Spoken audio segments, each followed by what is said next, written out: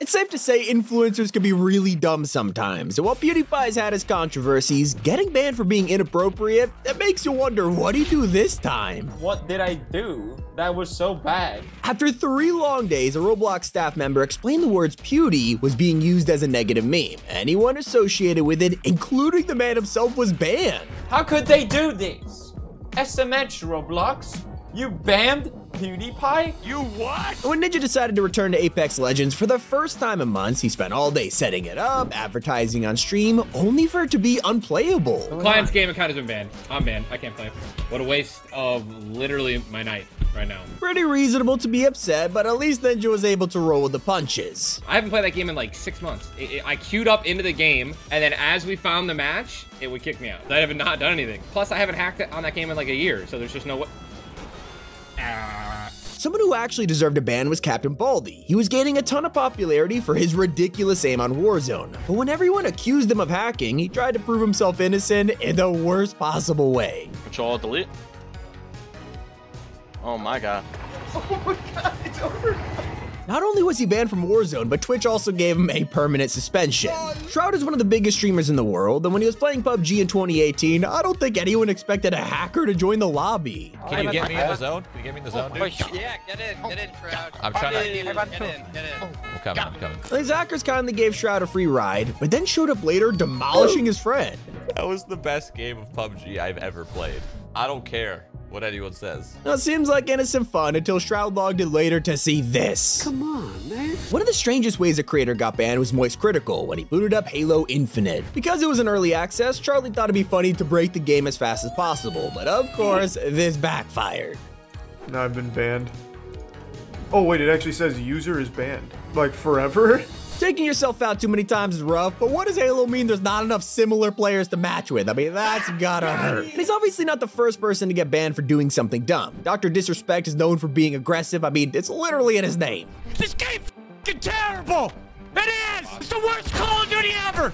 Of course, you can't go around harassing people on proximity chat, and Guy revealed he was actually banned for doing this a few days later. They banned my other one for seven days for proximity chat use. Spam? Yeah, it was probably spam, but I mean, was it? You know? Was it really?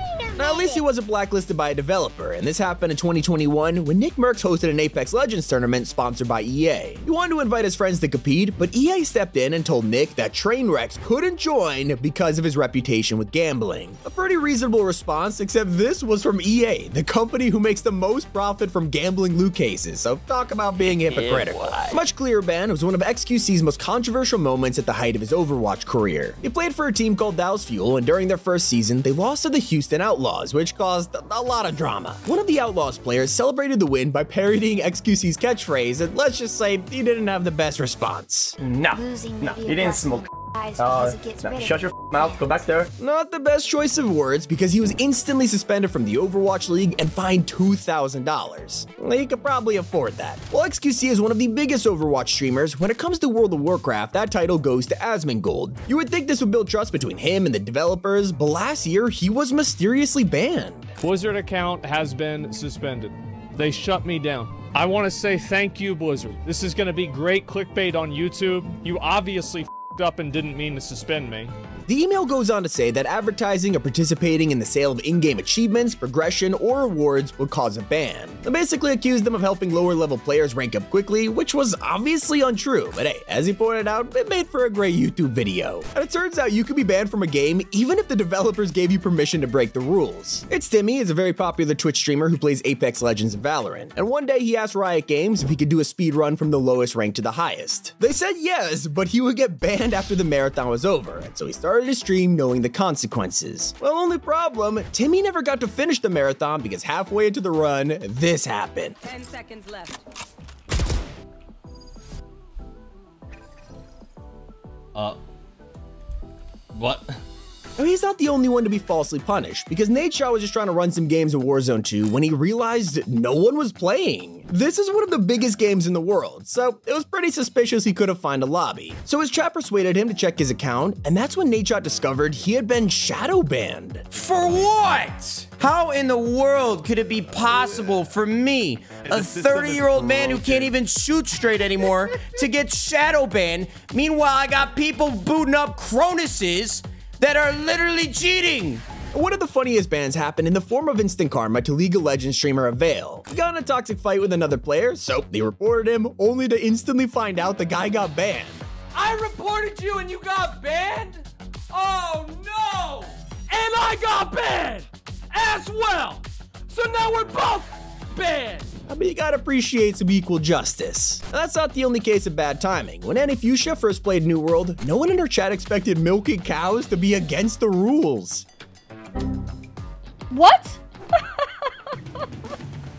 Last show, Speed knows all about getting banned, but the most notorious incident is also one of his most regrettable moments. Playing Valorant, he was getting really angry and started arguing with almost everyone in the lobby. One of them was a girl, and Speed said some very offensive things that got Riot's attention, so they blacklisted him from all of their games. Well, that was pretty deserved. Clix was the center of a huge debate last month after getting banned for teaming in Fortnite, except he wasn't. While playing a tournament, a stream sniper entered Clix's game, stalking and dealing constant damage to him. He wanted to get the sniper banned, so he asked them to prove he was watching the stream by dropping items. But one big problem, Clix picked up these heals and killed the enemy before going on to win the game. In Epic Games' eyes, this was against the rules, and they banned him from teaming. According to Clix, this means he'll miss the next two grand finals and a LAN event later this year, all for picking up a stream sniper's pizza. And he's not the only one to feel targeted by Epic Games. Tfue was one of the biggest creators in the world in 2018 and had spent over $5,000 on Fortnite skins. He wanted some of the rarest cosmetics, and the only way to do this was buying someone else's account, and this ended horribly. Not only did Epic ban the account he bought, but they also banned his main, causing Tfue to only wear default skins from that point forward. Luckily, he was later unbanned, but Yeety Boy didn't get the same treatment. He was a small streamer who opened Steam one day to be greeted by this alert. Steam support has been contacted by the cardholder who confirmed they didn't authorize the purchases on this account, and let's just say he wasn't happy. You know that call and email that you made to Steam?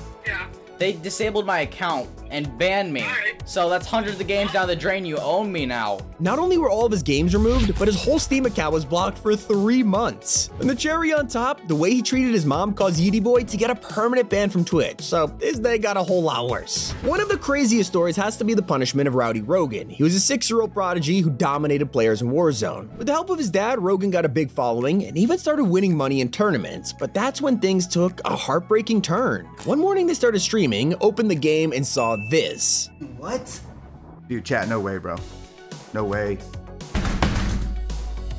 Free Rogan started trending on Twitter, his follower count shot up, and people were desperate to get him unbanned. The response was overwhelming, and it turns out that's exactly what they wanted. A few days later, they revealed this was a huge publicity stunt to get the attention of FaZe Clan. Rogan was challenged to make a viral video, and he came up with this, and let's just say it worked because he signed with FaZe and is now at a million subs on YouTube. Those are streamers banned from video games. It's been Tommy, and keep it here on T5G.